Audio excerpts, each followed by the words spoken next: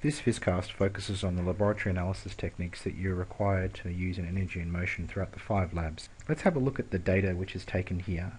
This data may represent voltages or a series of temperatures like in the first lab. What you can see here is that the measurements have some kind of distribution. Every time I've taken a measurement, the numbers change slightly. There may be some various reasons for that.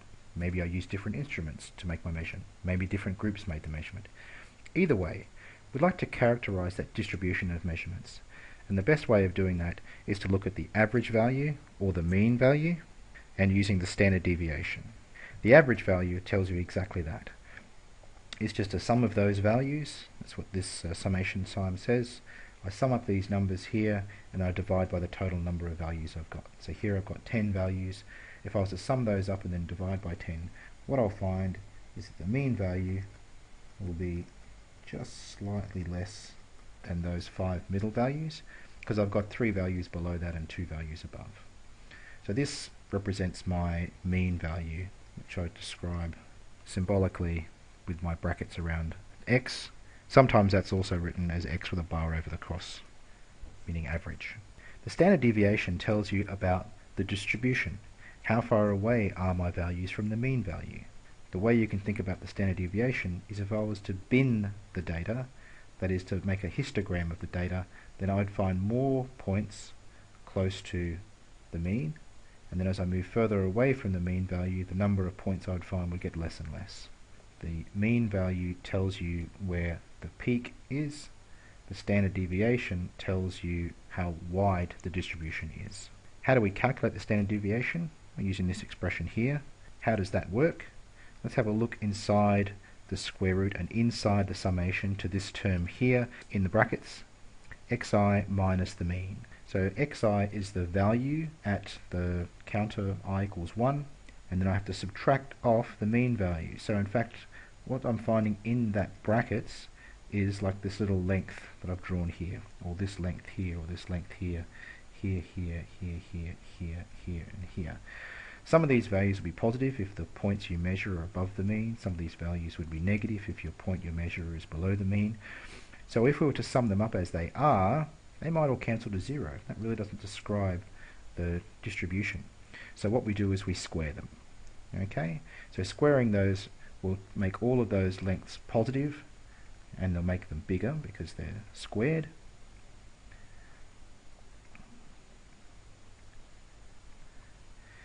And then what we can do is sum all those up. And we sum them up and divide by n minus 1, which is like taking the average of those quantities. Something like that length there.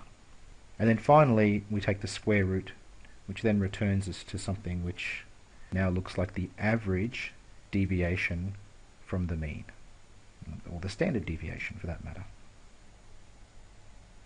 Next we want to look at when you collect data which has a linear dependence, how can we describe the distribution of that data? Well, what we can do is we can construct a line of best fit which goes through the data. If we suspect the behavior is linear, then we can draw a straight line that goes through that data. And the line of best fit basically means we can move it around until we think we've got roughly half the points above the data or half the points below the data Maybe the line's constrained to go through the origin. That might be nice. Maybe it's not. Either way, we can work out a line of best fit and from the equation to the straight line we know that the line is y equals mx plus c. We can work out the, the slope of that line of best fit by looking at my rise divided by my run or if you like we can take y2 minus y1 divided by x2 minus x1 where we can read um, x2 and y2 off of it that runs through that line and down here we can read x1 and y1 as numerical values. But you saw beforehand I could move that line around a little bit. So there's some uncertainty in which is the line of best fit.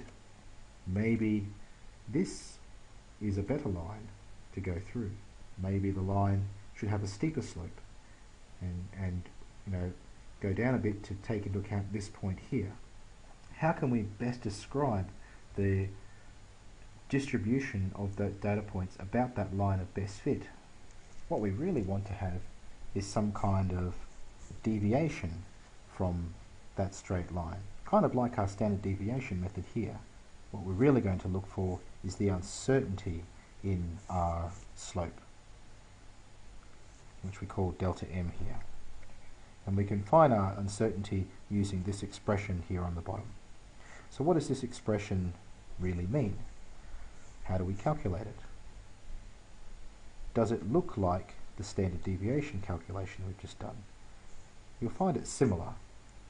First of all, let's have a look at the numerator. We're going to sum uh, over a counter i, which is going to run from 1 to the number of measurements that I've got. So 1 to n. And we're going to sum up these terms here, delta yi. So delta y1 plus delta y2 plus delta y3, etc. What are these things? Well, they're given by this. The absolute value of yi minus yi prime, where y1, for instance, is the black dot, and y1 prime is the value the y value on the line of best fit. So in fact, that difference, delta y1, is really equal to the length between these two points, the distance between these two points.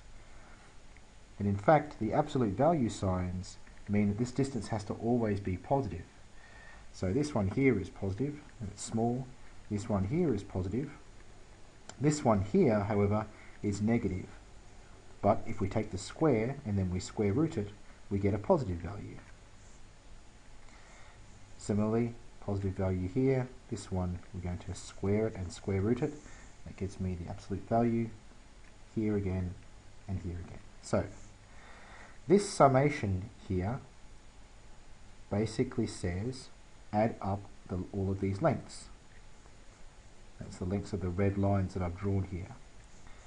If I take the sum of those lengths and divide by the number of lengths that I have, what I'm finding is the average length, the average departure from that line.